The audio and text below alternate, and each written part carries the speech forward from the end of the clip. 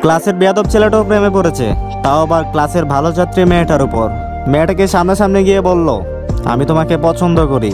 কিন্তু মেয়েটা বিরক্ত হয়ে বলল, আমি কিন্তু স্যারকে বলে দিব। তারপরও ছেলেটা দুই তিনবার গিয়ে বলল, আমি তোমাকে সত্যিই পছন্দ করি, একটা সুযোগ তো দেও। তখন মেয়েটা বলল, তুমি যদি আমার থেকে ভালো রেজাল্ট করতে পারো, তাহলে আমি ভেবে দেখব। ছেলেটা ভালো করে পড়াশোনা করল। অবশেষে রেজাল্টের দিন মেয়েটাই ফার্স্ট হলো আর ছেলেটা সেকেন্ড হলো। তারপরে সামনাসামনি ওদের স্কুলে দেখা হয়ে গেল। ছেলেটা মুখ ঘুরিয়ে বলল, আমি পারলাম না। কিন্তু মেয়েটা বলল, তুমি পেরেছ। মনে আছে তোমার? তুমি সব থেকে বেয়াদব ছেলে ছিলে? মেয়েটা তখন বলে উঠল, এই শোনো আই লাভ ইউ